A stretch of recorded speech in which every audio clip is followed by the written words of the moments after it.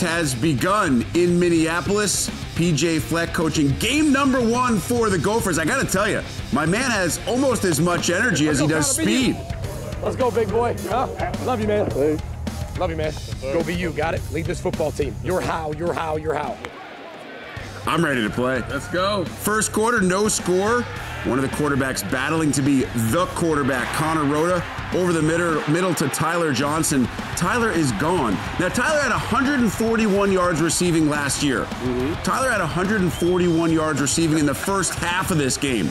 Gophers on top, 7 0. Later in the first, Buffalo's quarterback Tyree Jackson, he's a specimen. Yes, he is. Six, seven, and change. We are tied up at seven finds Anthony Johnson. But Minnesota goes to the run game with Shannon Brooks up 14 7 at the half. And in the second half, Howard, it was all about the Gopher defense, which had some questionable moments in the first half, but showed what we expected in the second 30 minutes. Yeah, taking away the football is one of the keys to this defense. Having success, you see him playing in the backfield, tackles for loss, outstanding job by that front. That Jacob Huff interception, and then Jonathan Celestin's a really good player.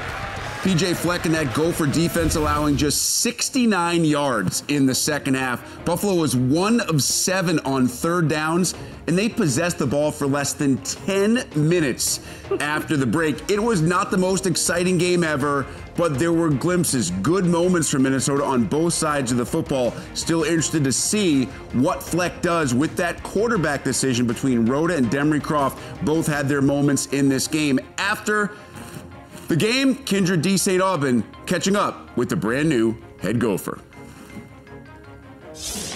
Thanks, guys. Well, Coach, your first official victory in the Big Ten here with the University of Minnesota here at TCF Bank. How does it feel? Uh, feels elite, really does. You know, a win is a win. We didn't play particularly well, but I'm very proud of our defense, their their resilience uh, to continue to come up with plays. I thought we moved the ball well on offense at times, just kicked ourselves in the foot. So uh, we got a lot to work on, a lot to work on, but this is the first right step. I'm proud that they were able to find a way to come out with a victory. Speaking of that offense, you didn't score a point since the first quarter until two minutes left in the fourth.